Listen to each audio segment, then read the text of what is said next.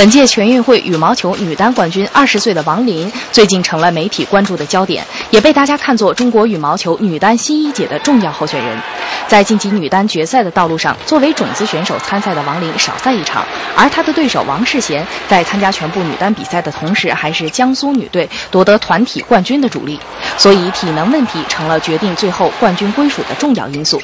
不过，我们也不能因此否定王琳这枚金牌的含金量。因为在决赛到来之前，被他淘汰的恰恰包括中国羽毛球的前女单一姐谢杏芳。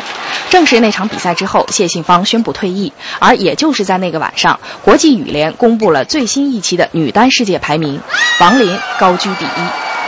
之前跟在常州大师赛也跟他打的决赛，然后之前团体赛也相遇过，都不是自己很轻松，所以不管是输赢下来都是很很艰苦的一场比赛，所以之前已经做好了特别特别充分的准备。二十岁的王琳，十九岁的王适娴，还有水平同样出色的二十一岁的小将王怡涵。虽然谢杏芳等老将在本届全运会后将要退役，但是三王的出色表现还是让我们欣慰地看到中国女单后继有人。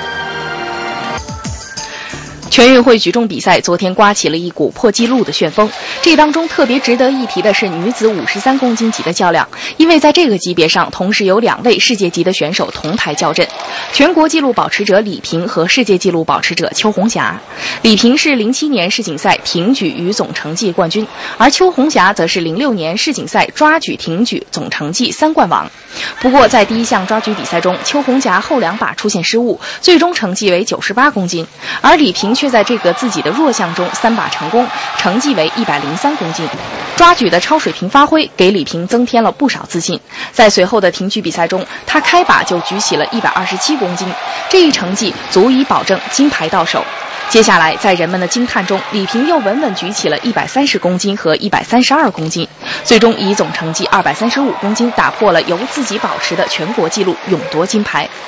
六把试举，六把成功，凭抓举全国纪录破挺举全国纪录，并在抓挺和总成绩三项上六次超越世界纪录。走下领奖台的李萍抑制不住自己的激动。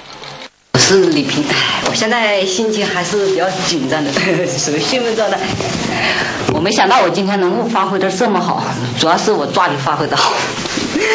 抓举发挥的好的，我挺举就比较有信心。成绩一次次被刷新，记录一次次被打破，女举姑娘们在续写着辉煌与传奇。